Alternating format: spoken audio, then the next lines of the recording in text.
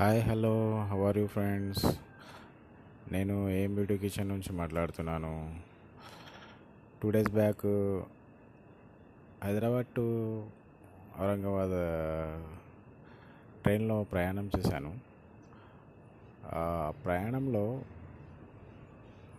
వర్షం పడేటప్పుడు కొన్ని లొకేషన్ వీడియో తీశానండి. నేను చాలా సంవత్సరాల తర్వాత ప్రయాణం చేశాను.